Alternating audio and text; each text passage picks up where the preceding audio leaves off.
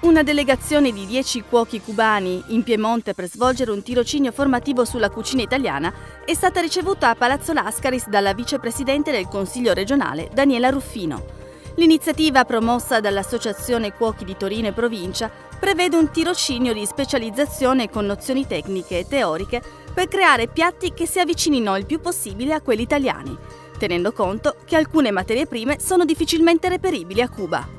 Dieci cuochi in visita a Palazzo Lascaris, orgogliosi di eh, riceverli perché si parla di Piemonte, si parla eh, di cucina, la caratteristica di questi cuochi in collaborazione con l'associazione eh, provinciale eh, Cuochi Italiani vogliono visitare la nostra regione sotto l'aspetto eh, enogastronomico. Certamente i nostri prodotti faranno eh, un viaggio lunghissimo nelle ricette di questi cuochi addirittura eh, in Cuba, quindi nelle varie realtà che sempre di più ospitano un turismo italiano. Io credo molto nella possibilità che il Consiglio regionale apra le porte in questo senso, so che c'è un grande entusiasmo per la nostra regione, verranno visitate delle altre realtà, ma sono anche certa che una volta di più la regione Piemonte sarà regina in questo senso. Sì, come Associazione Cuochi eh, è uno dei nostri compiti istituzionali è quello di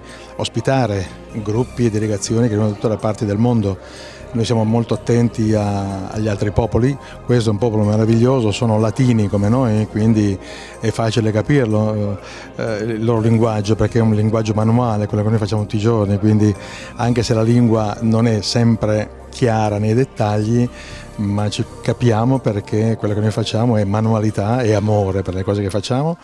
E uno dei nostri compiti è quello di trasmettere la nostra cultura millenaria, appetibile e vogliosa in tutte le parti del mondo e questo gruppo di cubani sono venuti qui proprio per approfondire bene le radici nostre perché in giro per il mondo i nostri prodotti non sono sempre reperibili e quindi loro si devono inventare delle situazioni, qui vengono per fare chiarezza. Abbiamo fatto dei giorni con loro e sono stati meravigliosi, ieri poi eh, fare i tagliarin con loro, tagliarli a mano